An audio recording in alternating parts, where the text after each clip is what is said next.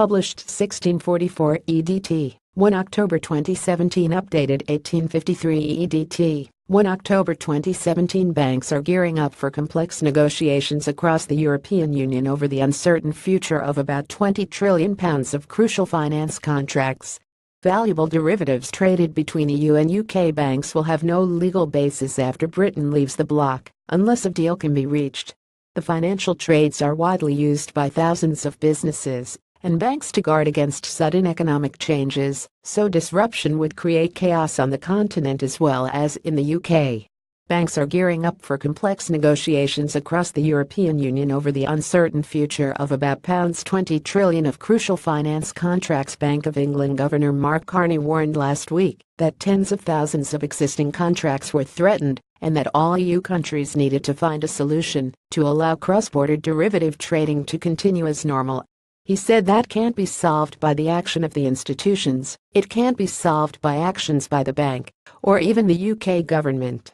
It has to be solved ultimately by actions by the EU 27 and the UK. The bank is in talks with International Swaps and Derivatives Association, which represents dealers, to try to fix the problem. Last night Brexiteers argued it was yet more evidence of how much the continent stood to lose if no deal between the EU and the UK was agreed. Bank of England Governor Mark Carney warned last week that tens of thousands of existing contracts were threatened and that all EU countries needed to find a solution to allow cross-border derivative trading to continue as normal. Your Eurosceptic Tory MP John Redwood said it's massively in their interests to have smooth arrangements for the day after we've left. I just hope they respond positively to the Prime Minister's very generous approach, otherwise we will just be leaving without a deal in place. The issue can be resolved by London-based lenders setting up a European operation and shifting their contracts into it, but this is fiendishly complicated, expensive and could take far longer than the 18 months left until Brexit. The bank's Financial Policy Committee said a comprehensive solution is likely to require the development and passage of legislation in both jurisdictions in order to protect the long-term validity of existing contracts. The bank also highlighted the potential risk from Brexit to contracts between UK insurers and EU firms.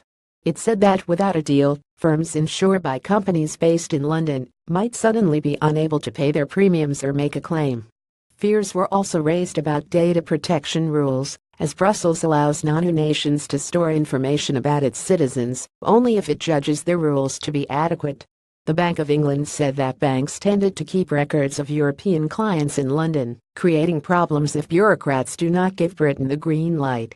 Derivatives are contracts that specify the conditions under which payments are made between two parties. While they can be used for several reasons, they are most commonly employed by traders to hedge their bets when buying or selling assets.